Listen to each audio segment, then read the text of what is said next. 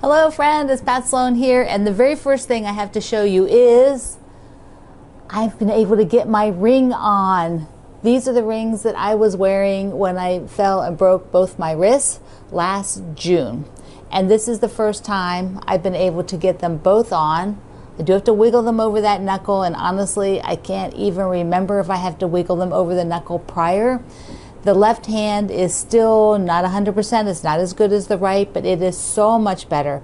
I have a wonderful uh, doctor who I've been working with who does rehab after surgeries. That's his specialty. And so this has been just fantastic. So I'm writing him today to tell him because I do have another appointment with him at the beginning of next year to see where things are because it's an extremely slow process to get this swelling down on the left hand. It still has a little bit. It's still, you know, it hurts to do this, just things like that. It's not, you know, aches would be, probably be a better word. But I could not get my rings on, and he's like, it, "It'll get there. It looks like it'll get there. I don't see." He says, "Put some soap on your ring and push it down." so the other day I tried it, and all of a sudden it went on. Um, also, it's a little cooler now, so that helps because your hands, you know, my hands always swell, and even before they were broken, they would swell a little bit when it was really humid. So I am just, I am thrilled. I am thrilled. It's like, ah, I can wear my rings again. I just feel like that makes it you know, almost 100%, you know, get those on. So, and I can close my hand pretty good, you know, not first thing in the morning, don't ask me to do it then, but uh, not soon after, once it gets kind of warmed up. Okay, so first of all, the, the calendar today is Pumpkin Pie Day, which means I would love to see quilts. This is a show and tell day. Uh, so I want to see quilts that have pumpkins on them or orange fabric. So you can go either way. I'm going to show you mine from Celebrate the Seasons. Here are my super cute little pumpkins. This is a fun little applique project uh, from that book. It's actually on the co- cover of that one. There we go. Those of you who like to see the backing, this one's kind of boring. It's beige. so there's my pumpkin. Okay, I do want to had a couple questions that I want to answer from the uh, wave stitch with the the wreath, the holly jolly wreath. So a couple people were asking me, uh, and I want to answer. So you, I do use my walking foot. So I use the walking foot on these, which um, is a, my walking foot is fairly wide. The actual foot plate. So here is my foot plate. It's a pretty wide foot plate. I know that some of you have walking feet that yours is not nearly this wide. I am using the edge of it to distance. That's all I'm doing. I'm not marking, I'm not doing anything else.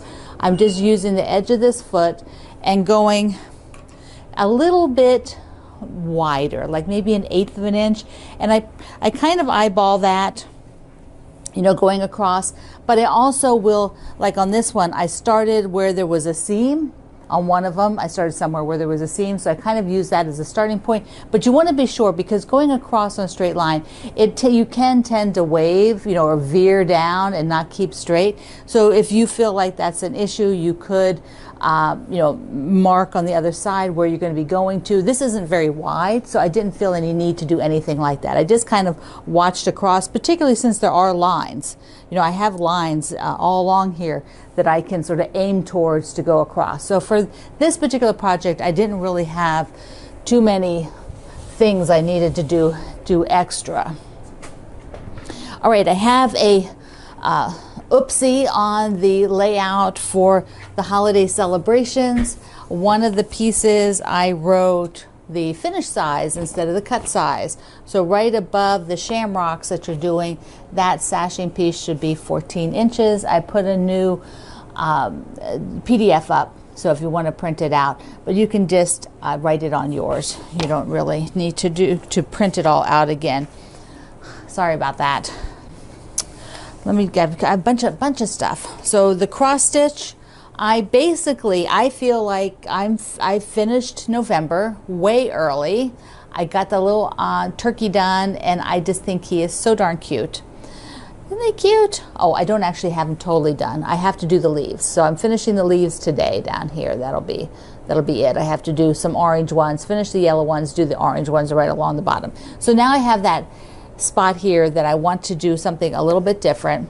And I've decided that I would do one of these from the uh, stitch cards. And I'm going to do either the presents or the trees because I want to do the snow uh, that goes around the bottom like is on the first block with the snowman. And I'm thinking either the, the presents will fill that block up like full and I can do if I do the snow first then I can build the presents in there if I do the snow, if I do the trees, I would just do the trees. I would not do the snow globe. I'd just do the trees, and then I would do snow in the sky. So, which would you do? Tell me. Tell me in the comments here at YouTube. Uh, I would love to know which would you do, trees with snow falling or the presents. Both will have snow along the rim to mirror the first one. So I have to keep on top of that though because there's a lot of extra around that uh, border for December. So there's a lot around here, and I, I will continue working on that now so that I can get ahead. I'm also going to do start this guy for for uh, my tree. There's a bunch of these. They have some really cute ones with cardinals. They have a darling one with a penguin. They have some that are not shaped like um, the uh, not you know not shaped like a sweater. You know, they have other ones that are not. So I'll link you everything down below to all of them because in case you want one. They're just super cute. I think it'll stitch up pretty quick. Uh, it doesn't look like that'll take long. So, yes. I have a lovely mail call from some of our friends here. First, uh, I'll do some cards that I got. This is a card from Martha. Look how pretty that is gorgeous. I think this is a card from the Missouri Star Quilt Company, so they must print up some cards. And this super sweet one is from Debbie. Look at that. That's a quail, right? I don't know. His name is Caesar. The artist is Vicky Sawyer. I like the bow on the head. and then Dawn sent me this beautiful card. I love some I love the yellow. Just those are Gerber daisies. It's just so gorgeous. Thank you, thank you mwah, for the wonderful get well or happiness cards. And then Sandra sent me some goodies. Sandra sent me a package of what we will call basics, basic stripes, pla- well, plaids, and then some awesome stripes to add for me to use. Uh, gorgeous gingham I have a friend who loves gingham. My friend Ann, she probably would try to steal that. Uh, this is a gray. Look, this would be good for the um, Happy Everything. It's got the gray in it, and then this sort of coral stripe, and this beautiful deserty type. This is wonderful. Look at that. Looks like sky. Looks like a sunset. Woo! Love it. Thank you, Sandra. Mwah. I love, love, love, love, love. This is so sweet. I also decided that I needed to get the fabrics that were all the other fabrics in the line for the border I got for uh, happy, uh, happy Everything. That gray border I got, I just think, why didn't I get that whole bundle? So here it is. I got it's called Through the Woods, and we're just going to take a look at it because it has amazing owls. Like these are so incredible. There's well, see, there's a so let's take a look. There's a really pretty dot. And then here is the owls. I love that. I love owls. Look at these. They look a lot like the owl I put on the, the cross stitch, you know, it'd be white owl. And this is, here is the one that I got for the border. Okay, there's the one I got for the border. And it also came in that same with the light. And then there's these beautiful butterflies, or are they moths? You guys are always correcting me on moths and butterflies. I don't know the difference. I need to find something to make with this. The owls came on gray.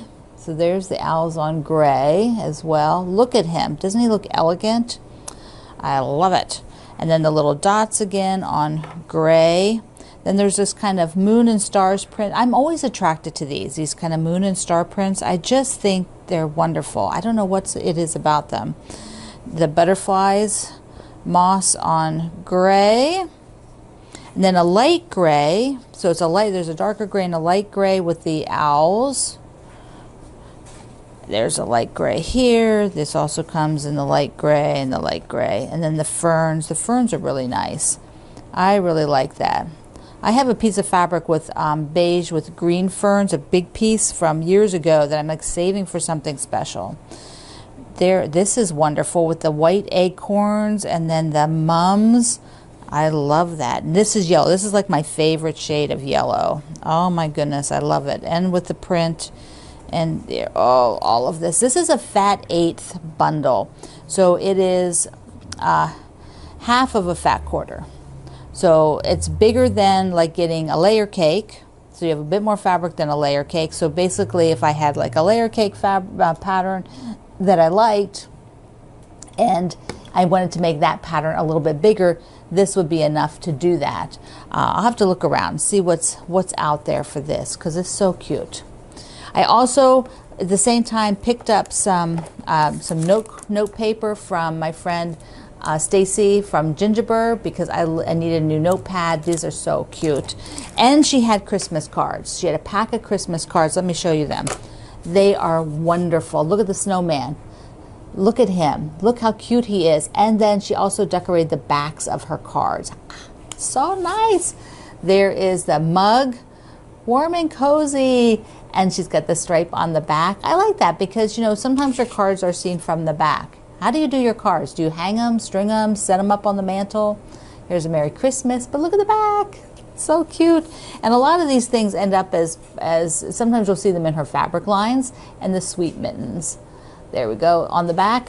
So I picked these up too because I thought, you know, while I'm there, while I'm there ordering fabric, I might as well get some paper and cards. Um, all right, a couple other things.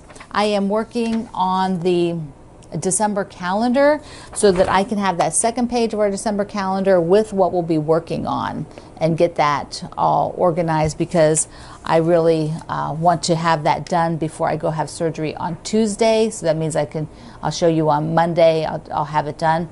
And I'm going to tell you now, but I'll tell you again on Monday, my schedule for next week. On Monday, I will only do a morning, I'll just do the video in the morning. I'm not going to do it in the evening because in the evening I have to prep uh, because I have to get up very early. So which means I have to shower and prep my skin for surgery. And then I have to go to bed early. And I just, it's just going to be stressful. And I don't want to have to uh, be online uh, at a certain time. So, you know, that we'll have to do that. Uh, that'll have to be you know, morning only video on Monday. Tuesday is surgery. I'm not doing any video. I am pre recording Wednesday for our fall frolic, and I will be no video on Thanksgiving Day. Uh, Friday, which is my birthday, I have pre recorded the video already. And then Saturday, um, most likely I will have a video on Saturday, um, pre recorded. I, you know, that's the one that's iffy. We'll see how much I get done here um, before before Saturday comes. You know, before before Monday. Anyway, that's kind of where it is. Uh, I will post on Facebook and at the YouTube community tab. If you look at the community tab here at YouTube, I will start putting notes in there. I would like to start using that so that for those of you who are not on Facebook but on, on YouTube, you can always go there and see sort of updates. Um, so I'm going to start using that, and I'll put a picture there, and hopefully Tuesday night or late afternoon when I get back, I will do an update. And then I will go ahead and update the Wednesday blog post so that at some point, I don't think I will do it Tuesday, but I will, you know, may, maybe, who knows? We'll see how I feel. Um, but I will do it sometime on Wednesday for the fall frolic. I'll put a note in there and send, show you a picture of where I ended up, how I ended up after Tuesday's surgery. Okay, my friends, I love you. Mwah. See you online.